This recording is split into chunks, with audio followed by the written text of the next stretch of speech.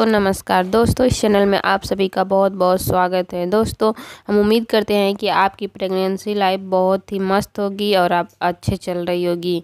आइए कुछ ऐसे सटीक जानकारी प्राप्त करते हैं जिससे आपके मन में उठ रहे जिज्ञासा को शांत किया जा सके कि आपके पेट में पल रहा है बेबी बेबी बॉय है या बेबी गर्ल है। आप लोग अपने पेट की हलचल से भी पता लगा सकते हैं कि आपके पेट में पल रहा शिशु बॉय है या गर्ल है।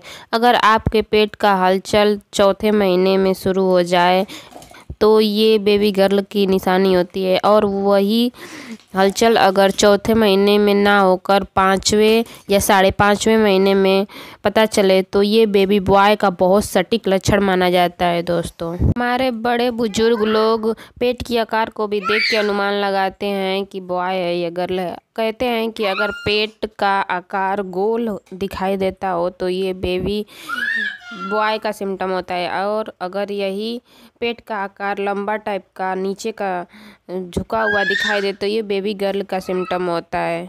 अगर आपकी नाभि बाहर की तरफ़ निकली हो तो ये भी बेबी बॉय का सिम्टम होता है और अगर अंदर की तरफ़ हो तो ये बेबी गर्ल का सिम्टम होता है। दोस्तों, ये चैनल और ये वीडियो कोई भी जेंडर प्रोडक्शन को बढ़ावा नहीं देता है। जैसा कि ये वीडियो देख के आप अंदर उठ रहे, जिज्ञासा को ही शांत कर सकते हैं। दोस्तों, बाकी कोई ये सटीक नहीं बता सकता कि बेबी बॉय होगा या बेबी गर्ल होगी।